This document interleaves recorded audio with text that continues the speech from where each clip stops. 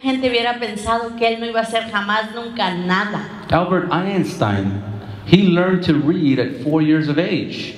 As uh, he, learned, he actually learned, started speaking at four years of age. He learned to read all the way to seven years of age. Who would have thought that this man would become a scientist? Steven Jobs, en el año de 1985, le forzó Steve Jobs salir de Apple e invirtió todo su potencial en fundación de la empresa Next. Sin embargo, nunca llegó a alcanzar el éxito y generó bastantes pérdidas. Y unos años más tarde, Apple terminó comprando Next, lo que trajo a Steve Jobs de vuelta para trabajar en lo que acabaría siendo Microsoft. Wow, yo cuando estaba mirando esa película, déjame decirte que a mí me movió muchísimo.